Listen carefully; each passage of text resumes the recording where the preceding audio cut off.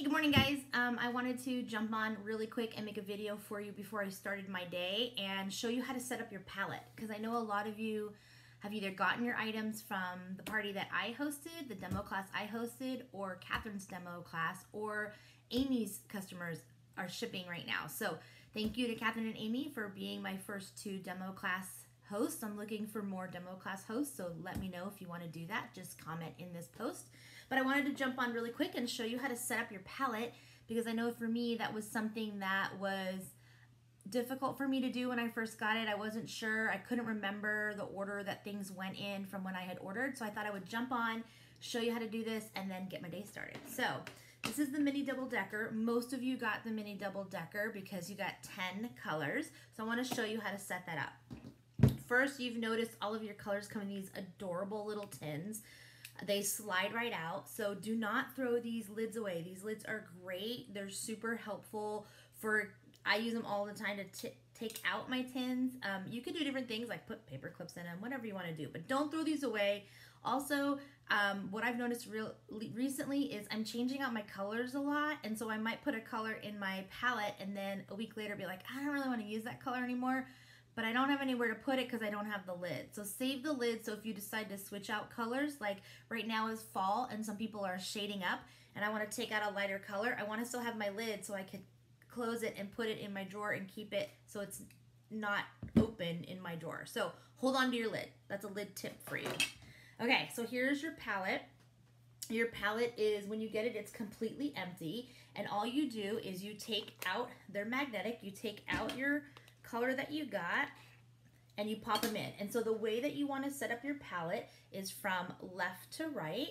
And so the first color you want to put in your palette is your all over color. So when you ordered from me, I sent you a little chart that had um, highlight, contour, illuminator, or lip and cheek, illuminator, and then some eyeshadows. And so you want to put your colors in order of how you're going to wear them. Um, so most people, if you're new and don't know which way you want to put your color on first because I prefer to put contour on first. I just tell everybody to default to the basic, which is your all over color. So your all over main color goes here, which is the first color that I listed in your little color matching picture. So your first main highlight goes here, your brightening highlight goes next, and then your contour goes last. So those are your three foundation colors to create the 3D foundation. And then your lip and cheek goes right next to it.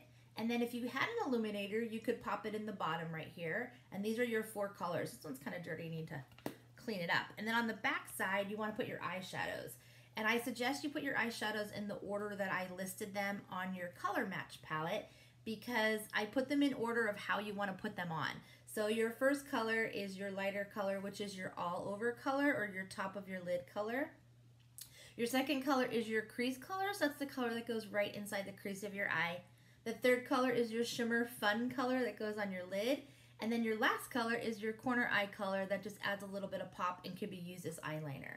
So you want to put them in that order and I'll do a, a post just on eyes um, coming up this coming week. I've got some new things planned for my VIP page so I can't wait for you to see that.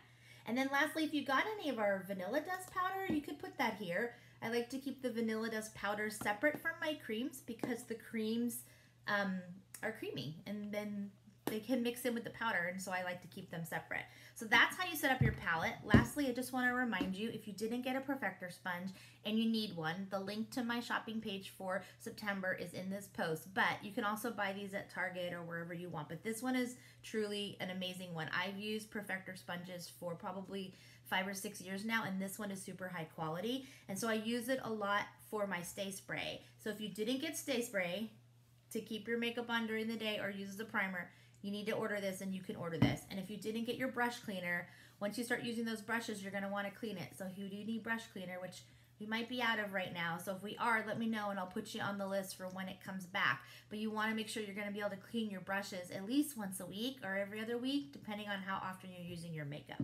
So super quick, jumped on, want you guys to have a great day. Now you know how to set up your palette.